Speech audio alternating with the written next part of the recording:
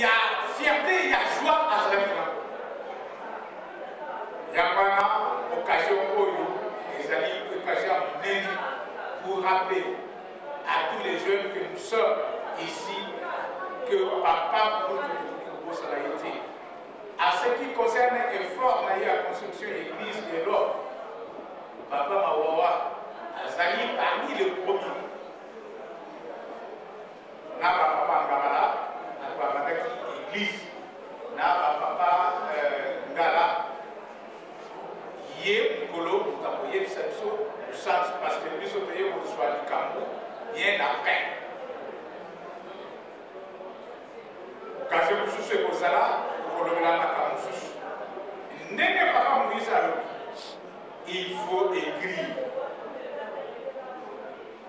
Il faut écrire.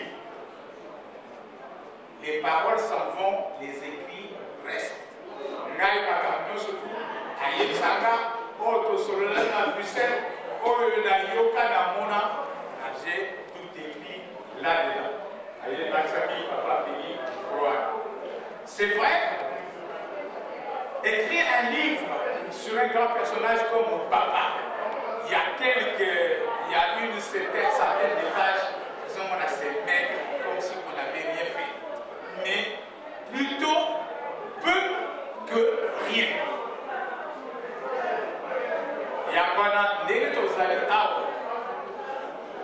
mutu na mutu aza na experience na ye soit na bavision na bandoto soit na masolo toyokaka soit na ndenge tosololaka na papa simokimaokiangani na ka il faut écrire il faut écrire il faut écrire makambo nyonso tu wana ezali nini C'est l'histoire de Dieu qui s'inscrit dans la vie des hommes. ezali makambo ya miracle te makambo wana nyonso tu ezali makambo ya nzambe donc il faut écrire nyonso oyo toza na yango nazali na esengo mingi parce que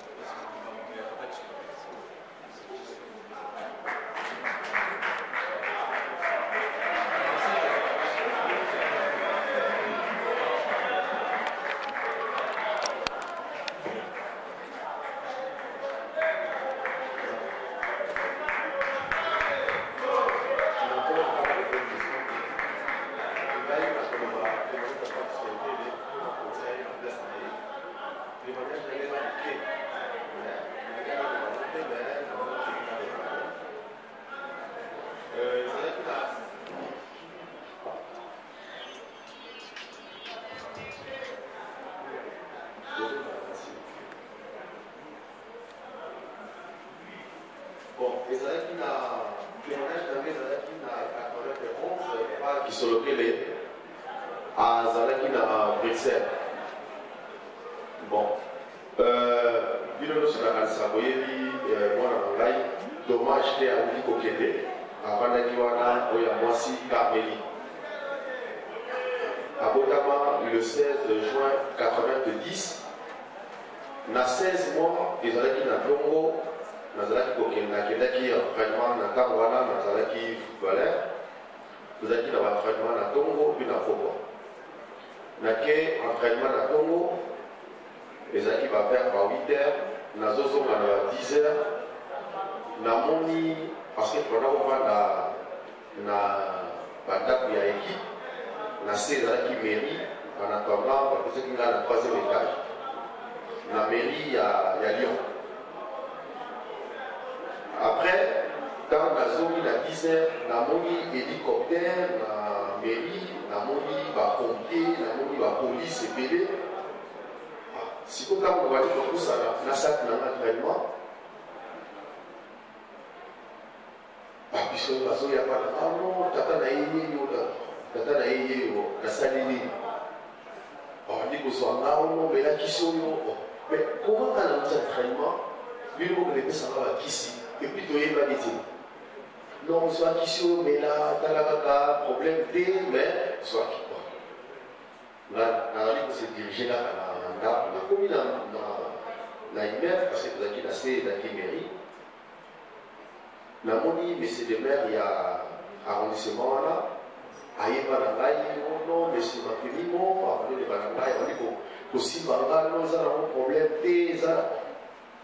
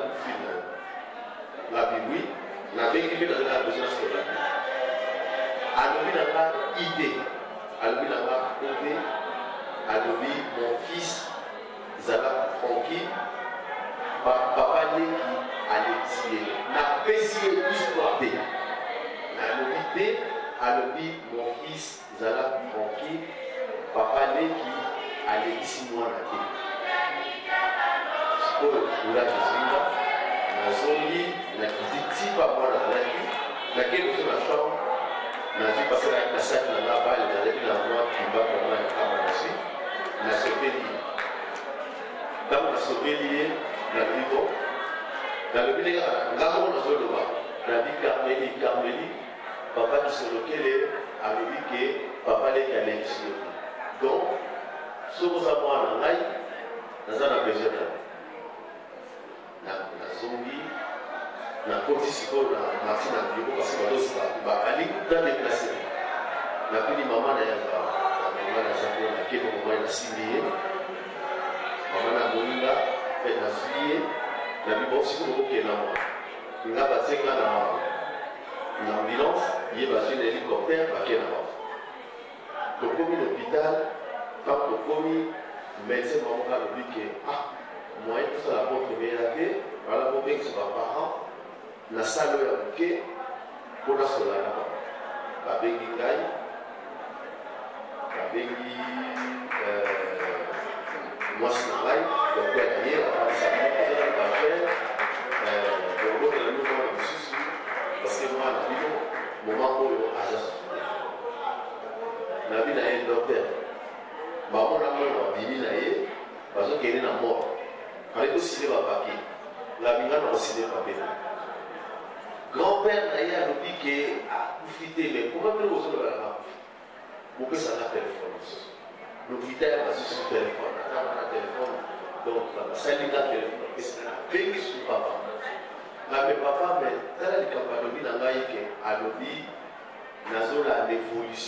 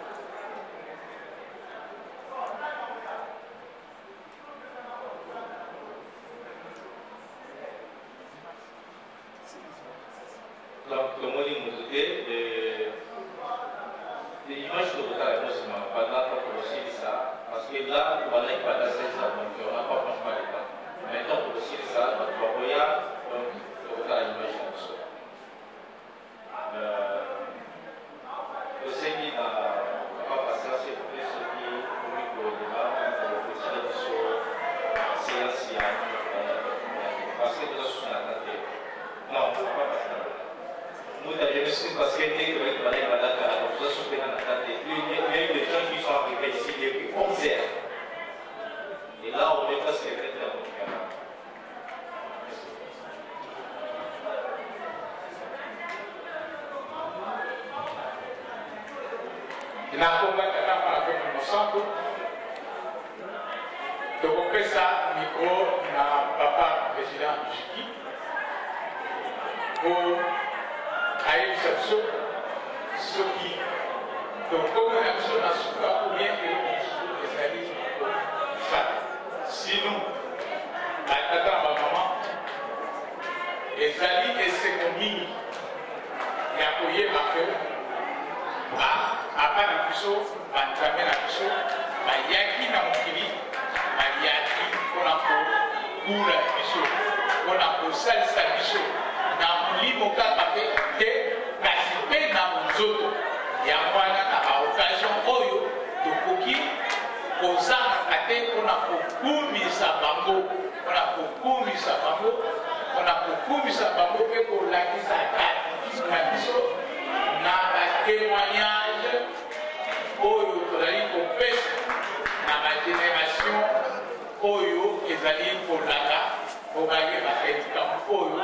ezali ya sikisiki mpe ya solo ya korespecte ya kobanga mpe ya kosalela soki conclusion ezali ya wana okoki kopesa me rendez-vous mosusu ezali na mois de mars le 21 mars à l'occasion ya transfiguration na ye ezalaki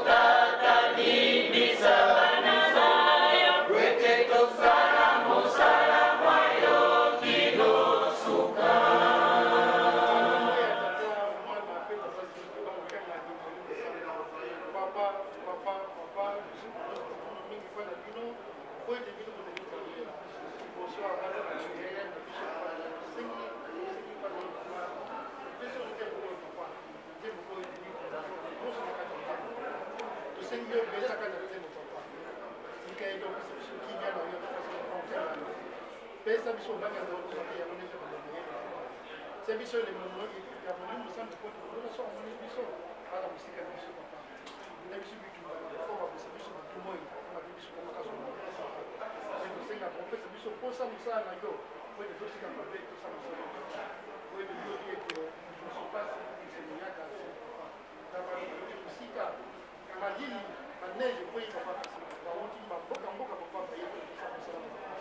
tika ete opesa biso yo obi ete esengo ezali na oyo akolandaka nzambe oyo atosa mibeko na ye ena komona nzambe kasi ezali mpasi mingi oyo atyolaka nkombo na yo makili nde akomona wete